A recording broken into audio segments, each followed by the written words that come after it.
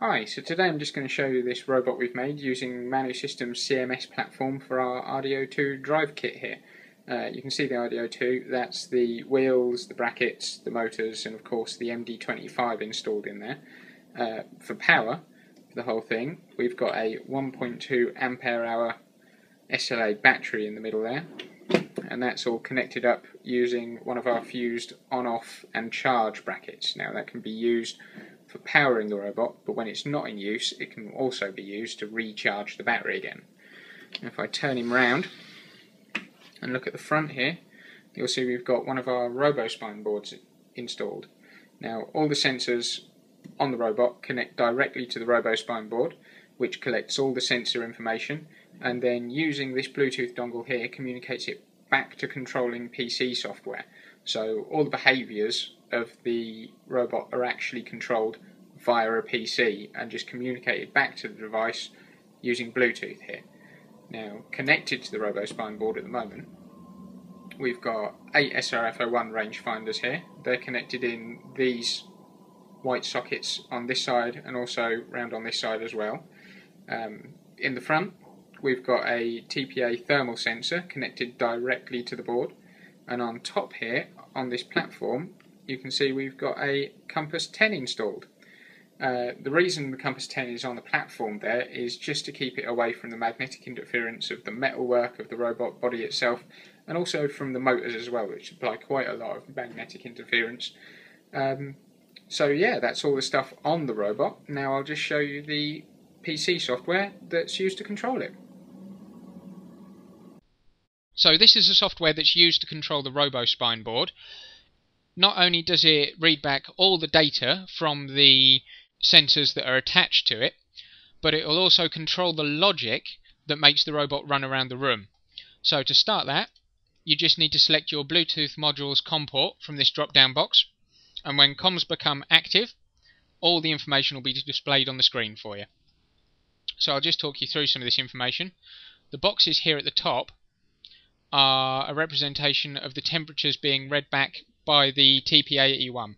The bottom row of numbers here are the minimum temperatures of each pixel read back over a period of time, and the top numbers across here are the actual temperatures being read back by that pixel.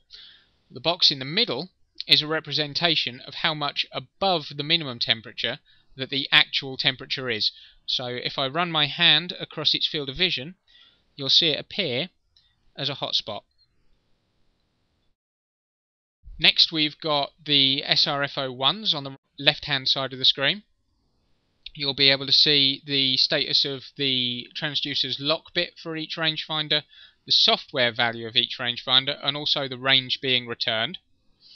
Underneath that you've got the information for the Compass 10, so the bearing, the pitch, the roll, and its software version.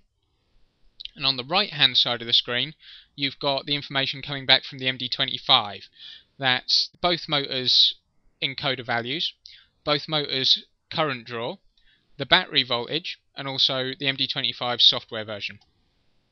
Underneath that, there are readings for two A to D converters. Any analog devices can be connected up to these, such as a sharp infrared rangefinder. Now, in the middle, you'll see a visual representation of the space around your robot and the orientation of your robot within that space. The circle in the middle is your robot, and the arrow points to which way your robot is facing, and the ring around that represents the distance of objects from your robot according to the rangefinders listed here. Lastly, there's a box down here in the bottom corner labelled Behaviour, that will show you the current behavior that your robot is running. So you can see at the moment it's running a behavior called cruise, which makes it just run in a straight line. But if I put an obstacle in its way, you can now see it's avoiding to the left. Now that we've seen the software running, let's have a look at the robot running around the room.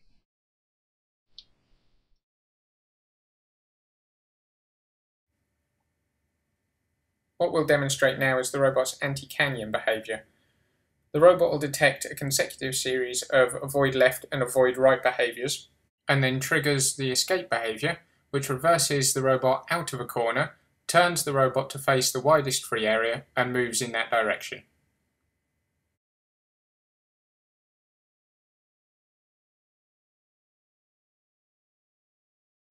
This is the robot's bump detect behaviour.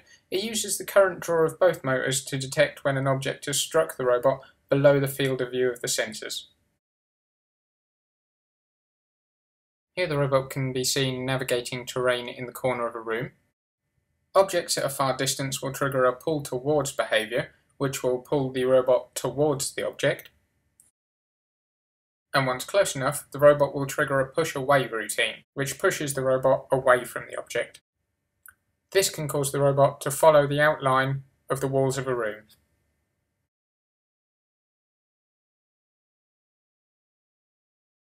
Once free from the corner, the robot will go into cruise mode, which will hold the robot straight using the compass bearing.